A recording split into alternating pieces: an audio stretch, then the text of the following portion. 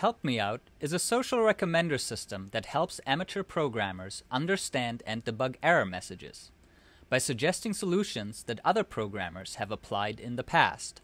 Jim, a design student, works on code for an animation based on mouse input.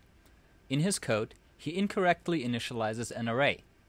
When he compiles his code, he receives an error message but is not sure what it means. He consults the Help Me Out suggestion panel and sees that he can either add a size to the array declaration or provide explicit values. He clicks on the Copy Fix button next to the first suggested fix, which modifies his original source line, leaving his variable name and the rest of the code intact. His program now compiles, but an exception occurs at runtime.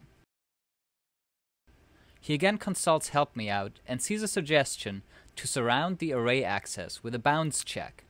The suggestion also includes an explanation of the problem and its solution. That explanation was provided earlier in the week by Jane, Jim's teacher, using the Help Me Out website. The site lists the most frequently returned suggestions, so Jane can provide guidance where it is most useful.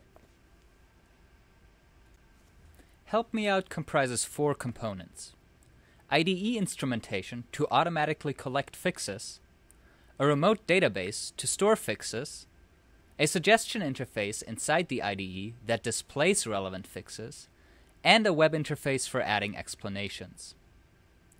The fundamental insight is to use both error messages and source code context during capture and search.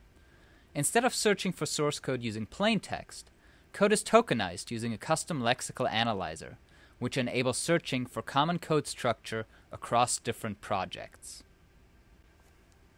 We evaluated Help Me Out through two three hour workshops on processing offered to graduate students at an art and design school in our area. Most students self ranked as novice or struggling programmers. After 39 person hours of use, Help Me Out returned useful suggestions for 47% of queries. The fixes were useful for incorrect API usage, syntax errors, and incorrect variable or class declarations.